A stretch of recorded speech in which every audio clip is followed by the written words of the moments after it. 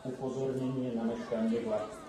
Rýchly číslo 607 andreašok.sk železničnej spoločnosti Slovensko zo smeru Bratislava hlavná stanica a Žilina s pravidelným príchodom 16 hodín 55 minút smer Margecany, Tisak a Košice s pravidelným odchodom 16 hodín 57 minút bude meškať.